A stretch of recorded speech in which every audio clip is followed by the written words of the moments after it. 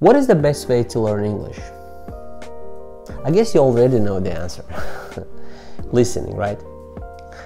But there is another benefit to spending a lot of time listening to English. Like, from a psychological perspective, it reduces the anxiety people often feel when speaking a new language.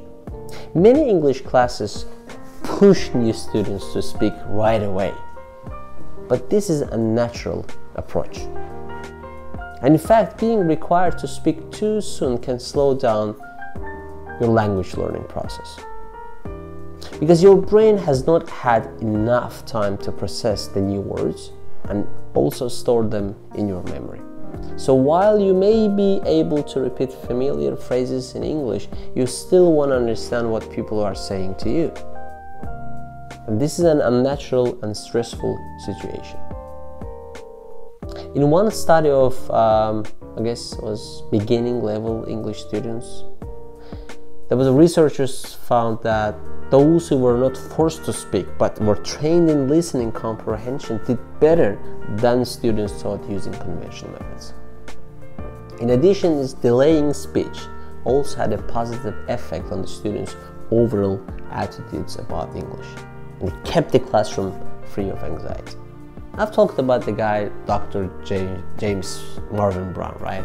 He took this idea even further. The director of the Thai language program for foreigners, Dr. Brown created a program that mimics the silent period of babies and small children. In his program, students listen to understandable Thai every day, but they do not speak for six months or more. The students focus completely on learning with their ears.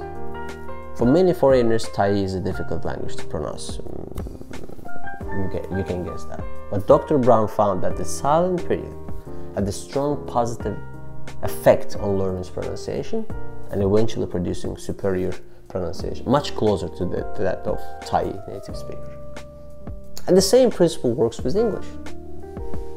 Though a silent period is not necessary for most intermediate, real intermediate learners, but you still might try, you, you still might try it. Why not focus completely on English listening for a few months and then return to English speaking? You will likely find that your speaking has improved even though you never practiced it. I hope this video helped you. Bye bye.